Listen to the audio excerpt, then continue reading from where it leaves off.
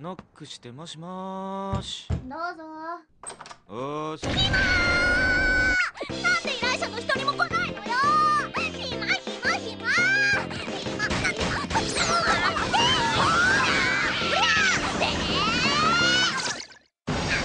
今日も春日は元気だなもうこのままわさわさ動いてやる落ち着け春日誰か来てるぞまあ今のは自業自得だろ痛い。うだろうな。帰っていいか。よーし。あ？長門オンリー？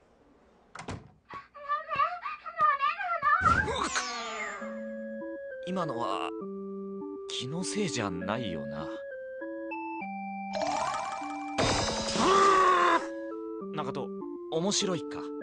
興味深い。そそうか。長門の趣味が増えるのはいいことだから口出しはしないけど周りに迷惑かけないようヘッドホンをつけようなお兄さんとの約束だぞ。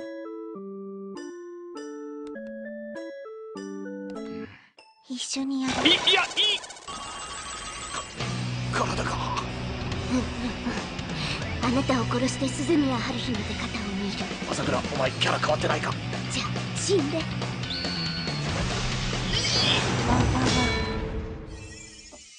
長門大丈夫か？いや全然平気そうには見えないって。私の負けね。でもこれで安心できると思ったら大間違いよ。